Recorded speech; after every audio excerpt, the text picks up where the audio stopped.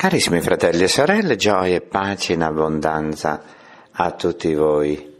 La grazia del Signore che da sempre ricolmi la vostra vita, vi accompagni in un istante della vostra esistenza e faccia della vostra giornata e della vostra vita un inno di lode a Dio, rendendogli grazie per averci creati, rendendogli grazie per averci dato Gesù Cristo che ci ha redenti e salvati, che ha aperto per noi la porta del Santo dei Santi, che dà a noi il libero accesso al trono di Dio, non per i nostri meriti, ma per sua grazia, poiché Egli ci presenta davanti al Padre come sua conquista, come opera della sua redenzione, come sacrificio gradito a Dio. E ciascuno di voi, infatti, fratelli, è gradito al Signore. Chiunque porta nel cuore lo Spirito di Gesù è gradito a Dio.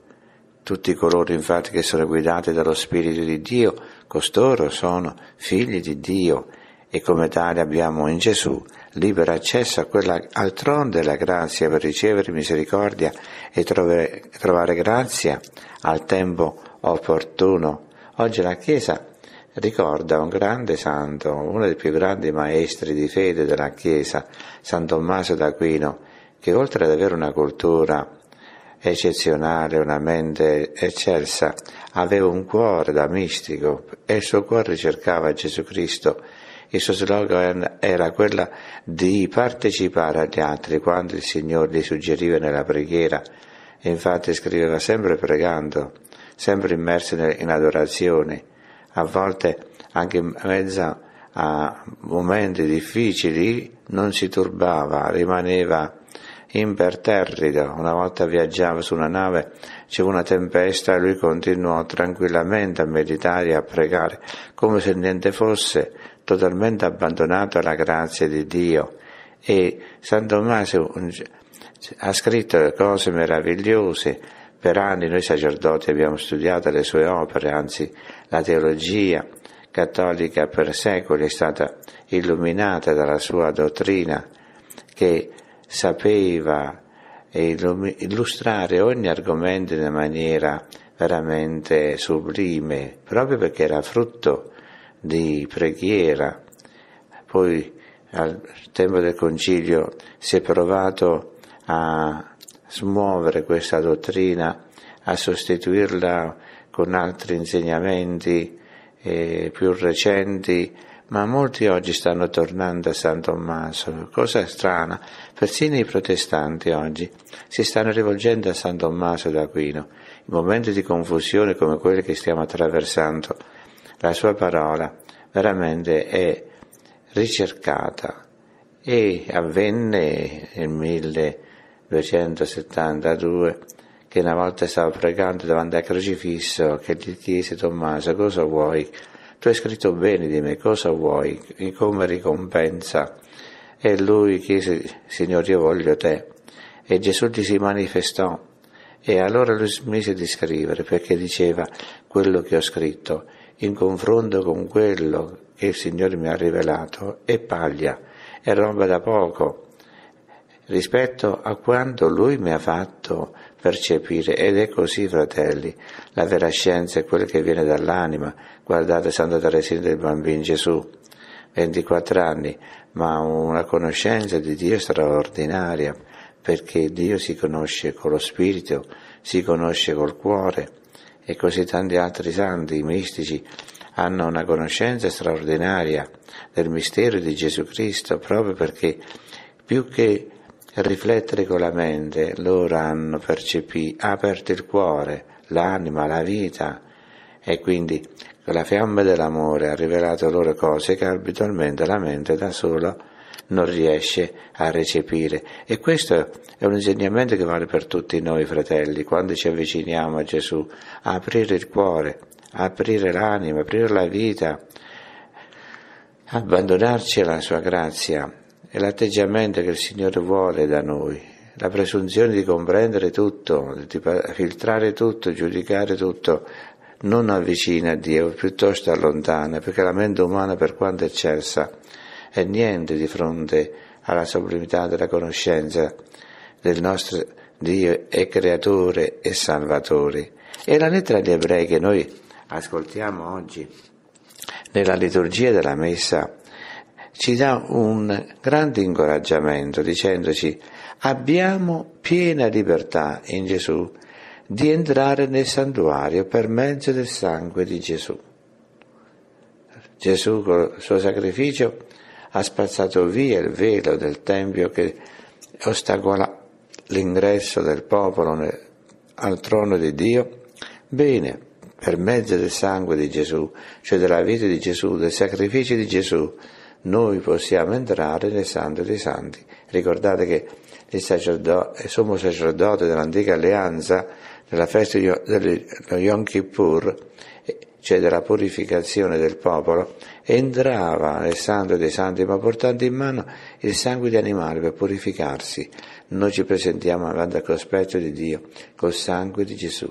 Tu sei uno che Gesù ha riscattato a prezzo del suo sangue e lui mette nelle tue mani il suo sangue.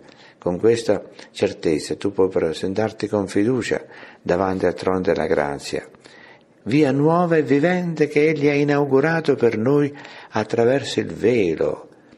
Quale velo? Quello della sua carne, cioè la sua carne. E poiché abbiamo un sacerdote grande nella casa di Dio, accostiamoci con cuore sincero, nella pienezza della fede, con i cuori purificati da ogni cattiva coscienza e il corpo lavato con acqua pura. Presentiamoci davanti al Signore, ma con la sincerità del cuore, sapendo che la fede nell'amore di Gesù ci purifica, ci rinnova, ci rende puri e ci dà il coraggio di presentarci davanti a Dio senza perdere, dice qui, la speranza che è in noi, perché lui è degno di fede dal momento che è il figlio di Dio che ci ha rivolto le sue promesse. Quindi prestiamo attenzione gli uni agli altri per stimolarci a vicenda nella carità e nelle opere buone, senza disertare, dice naturalmente, le nostre riunioni come alcuni hanno l'abitudine di fare, cioè la costanza, la costanza nel seguire Gesù nell'appartenergli e nell'immergerci nella sua grazia giorno e notte. Perciò, cari fratelli, fissiamo lo sguardo non su noi stessi, ma sulla grazia che Dio ha messo nelle nostre mani.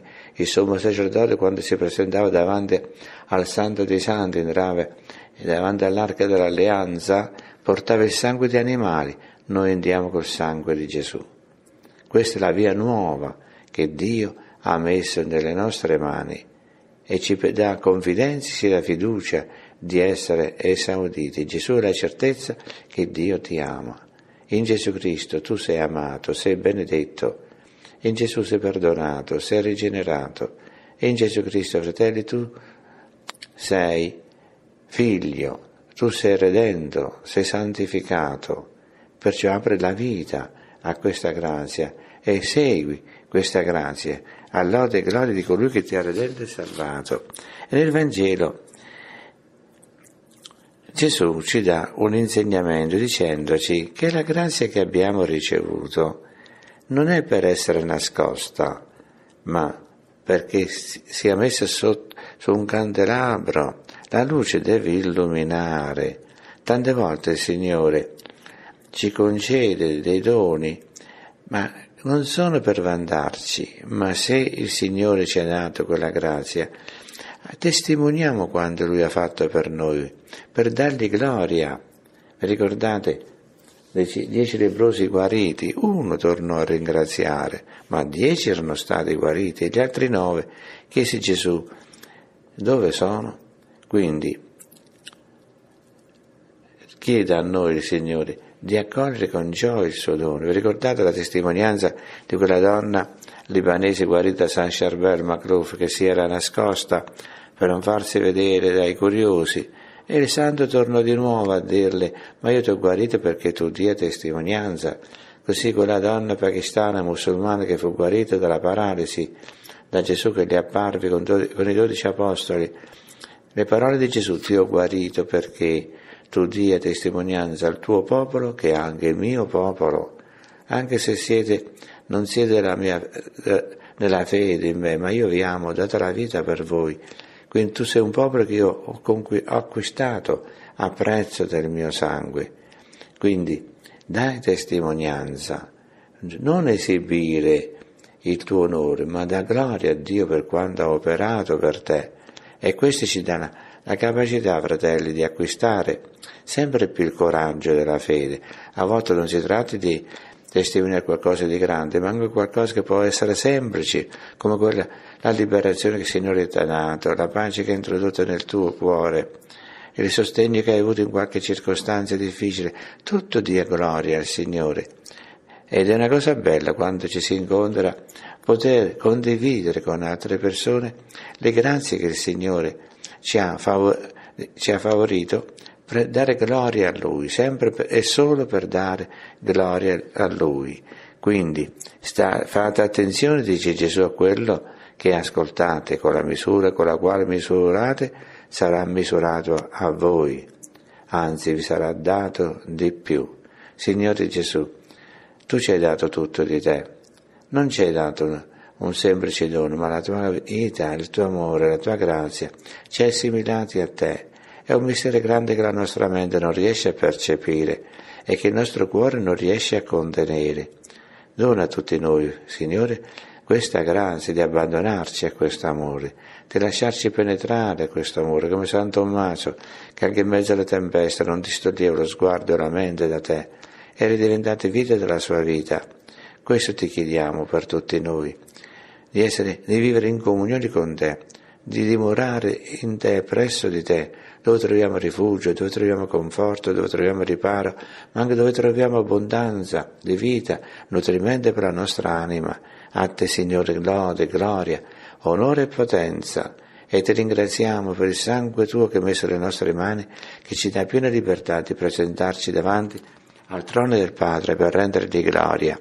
E tu, Vergine Santissima, piena di grazia, piena di fiducia, continuamente nella Chiesa continua a diffondere la grazia e a partecipare alla grazia che tu hai ricevuta, perché la nostra gioia sia piena.